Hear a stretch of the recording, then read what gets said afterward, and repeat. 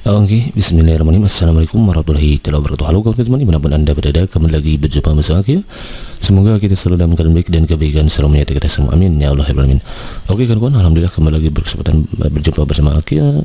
Dan kesempatan kali ini Aki insya Allah akan berbagi seputar informasi pelaksanaan P3K yaitu pegawai pemerintah dengan perjanjian kerja untuk formasi tahun 2021 di mana beberapa hari terakhir telah beredar informasi seputar pelaksanaan persiapan seleksi guru P3K dan untuk soal-soalnya sudah mengakibatkan ya di part silakan video searching lagi video-video Maki sebelumnya. Sudah ada beberapa part itu di sana untuk soal kompetensi manajeri eh, sorry soal kompetensi gitu ya. Karena sebagaimana kita ketahui bahwa P3K ini nanti akan terdiri dari tiga tahapan mulai dari tahapan administrasi ya administrasi kemudian seleksi kompetensi dan manajerial. Itu berdasarkan per KBKN tahun 2018 gitu ya. Dan dalam kesempatan ini juga akan berbagi pada kawan-kawan terkait dengan persiapan seleksi guru P3K yang sudah dilaksanakan oleh pemerintah melalui Kemendikbud. Baik untuk murid kata kita langsung aja di kopi gitu ya.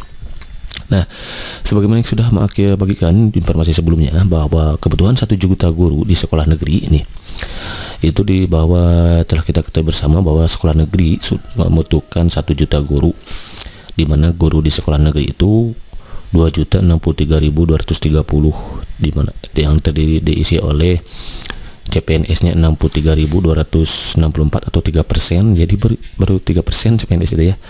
P3K-nya baru satu persen yaitu kemarin ya. Dan bukan PNS-nya ini banyak tuh. 36 persen. Sementara PNS-nya 60 persen. Nah, ada 60 persen PNS 36 persen bukan PNS P3K-nya itu satu persen dan CPNS-nya baru 3%. Jadi ternyata yang sudah dilakukan rekrutmen CPNS beberapa waktu yang lalu itu baru 3% kawan-kawan ya. Sementara di, diisi oleh kawan-kawan yang sudah lama mengabdi itu sekitar 742.459, 36%.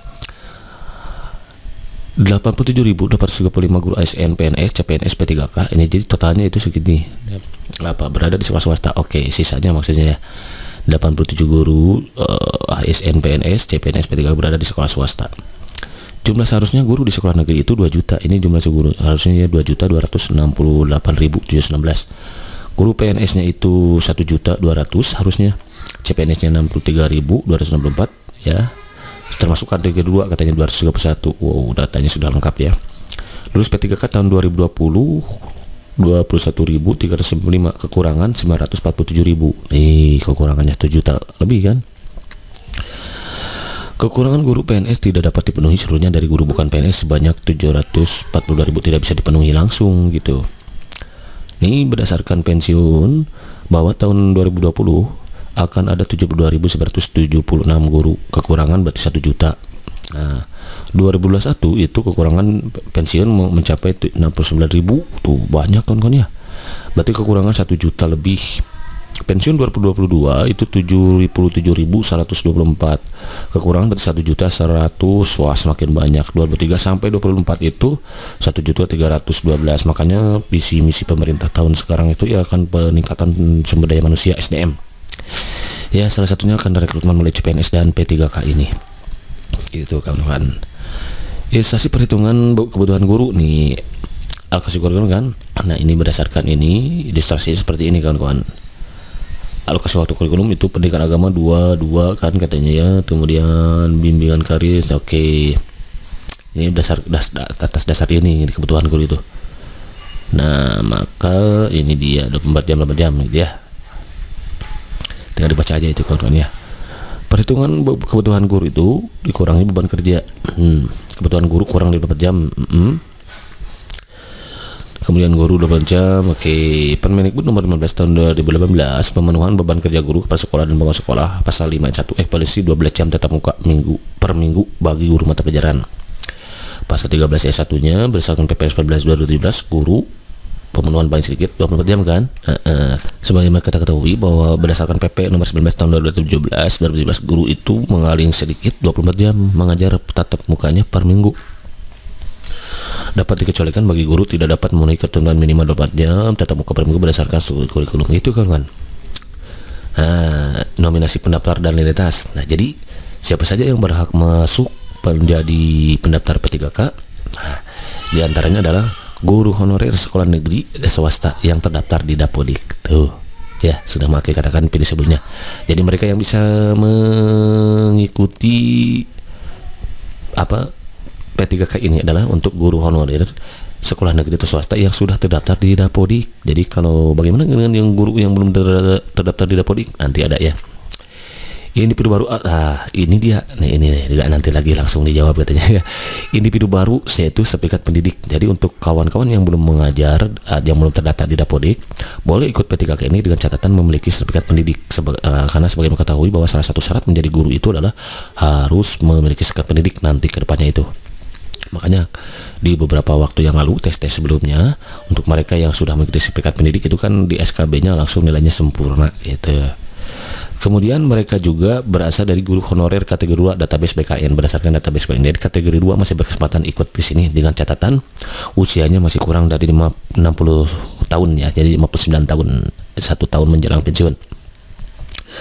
Ini aplikasi Info GTK Kemendikbud. Tugas kita sekarang adalah melakukan perpa ijazah ya, mulai meliputi EPTK kualifikasi S1 D atau D4 gitu. Nanti kawan-kawan segera ya masuk ke Dapodiknya minta akun dan username-nya passwordnya ke operator Dapodiknya gitu. Langsung perpa ijazah gitu.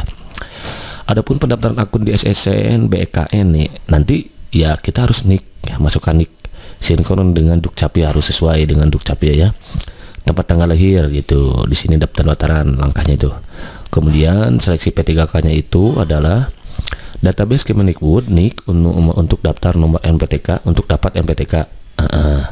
tempat tanggal lahir NPTK NRG spesifikasi oke ini dia nih Perhatikan ini tes kualifikasi satu jenis spesifikasi Pemendikbud ini informasi mata pelajaran apa. Awas hati-hati nanti juga harus kita sesuaikan gitu. Jangan sampai kita guru olahraga melamar guru matematika gitu atau guru matematika melamar guru bahasa Inggris gitu misalkan ya. Harus sesuai di tesnya. Itu dia kawan-kawan ya. Jadi tetap melalui SCN bkn.go.id nanti. Nah, masukkan nick dan N, N untuk dapat NPTK katanya. Oke, okay, next. Adapun materi ujian dan jadwal persiapan, nah ini dia yang paling penting nih. Ujian P3K berbeda dengan ujian CPNS karena tidak ada seleksi kompetensi dasar, hanya seleksi kompetensi bidang teknis itu. Jadi P3K itu nggak ada, nggak sama dengan CPNS kan kawan. Kalau CPNS itu ada SKD-nya gitu yang terdiri dari TU, TWK dan TKP. Kalau SK kalau di ujian P3K itu hanya seleksi kompetensi bidangnya saja atau teknis. Nah, itu dia materinya ya. Kemudian Desember itu sekarang kita kan sudah masuk bulan Desember nih. Database kualifikasi LPGTK kita sedang perpakan data kebutuhan daerah. Jadi daerah sekarang sedang mengajukan kebutuhannya. Makanya kemarin pemerintah melalui Mendikbud itu kan memberikan tantangannya. Silakan ajukan sebanyak-banyaknya karena semuanya akan difasilitasi oleh pemerintah melalui Mendikbud untuk guru itu ya. Jadi melalui uh, meliputi penggajian tentunya ya kemudian di samping pengadaan tesnya juga termasuk penggajian itu sudah ditanggung oleh pemerintah pusat enggak daerah lagi. Januari Kementerian Pendidikan dan Kebudayaan ini Kemendikbud ya mem memverifikasi kualifikasi pendidikan. Februari materi pembelajaran. Nah jadi materi pembelajaran itu Februari lalu setelah materi pemberian materi Februari langsungkan Nah, nah di sini seperti yang sudah Maki katakan bahwa materinya itu akan disiapkan secara daring oleh Mendikbud kawan-kawan. Usahakan nanti setelah nanti waktu apa daring ini di dibuka tugas kita ya jangan sampai terlena kawan-kawan ya jangan sampai sia-siakan kesempatan ini. Tugas kita ya pokoknya tinggalkan segala aktivitas yang um, tidak bermanfaat anpaidah gitu ya. Kita fokus di sini untuk belajar gitu mencari materinya sehingga nanti pada saat pelaksanaan tesnya kita tidak bingung. Baru nanti pengumuman seleksi. Berarti kalau begitu ya pelaksanaan P3K ini bisa Februari atau Maret nanti ya Maret lalu nanti CPNS CPNS gitu kan karena sebagaimana informasi berdarah bahwa CPNS pun akan kembali direkrut pada tahun 2021 ini. Adapun tipe konten nah ini itu meliputi kompetensi teknis ya nah kapasitas kompetensi itu sesuai mata pelajaran. Nah jadi SKB nya lah gitulah kalau matematik matematika lagi berarti ya sesuai mata pelajaran. Kalau fisika fisika lagi biologi biologi lagi kalau olahraga olahraga lagi kalau pendidikan agama Islam pendidikan Islam lagi gitu kawan-kawan. Namun PP tidak menutup kemungkinan di sini akan muncul pedagogiknya seperti kemampuan kita dalam mengajar ya kemampuan pedagogiknya itu adapun soalnya itu ada 50 soal kawan-kawan waktunya 60 menit bobotnya 60% Kemudian tes bakat skolastik penalaran. Wah, ada tes bakat skolastiknya nih sekarang ya. Berarti dia hampir, hampir sama dengan CPNS ya. Ada tes bakat skolastik penalarannya. Soalnya 40, waktunya 60 menit kayaknya ini. Um, bobotnya ini 50% nih. Manajerial nih 30 butir soalnya 25 oke sosiokultural 20 15 pertanyaan wawancara dijawab secara tertulis katanya ya secara tertulis atau online gitu ya. Butir soalnya 10 waktunya ini. Jumlah soalnya 150 soal. Waktunya 170 menit wah bobotnya 100% gitu Nah, ini nanti insya Allah sudah kalau teknis sudah makin bagikan untuk soal-soalnya ya. Silakan kawan-kawan pelajari lagi. Tinggal manaj skolastik insya Allah nanti akan menyucuk ya ini kultural kultural juga wawancara nanti mungkin akan dibagikan ya informasi selanjutnya pokoknya terap pantau terus perkembangan terbarunya di channel Maki ini gitu ya kalian. Ya itu dia proporsi ketersediaan guru dengan kebutuhan. Nah, Oke, ini enggak ada terlalu ini ya, enggak terlalu sih. Oke, okay, enggak. Nah, ini SD apalagi SD katanya. Ya sangat jumlah kekurangan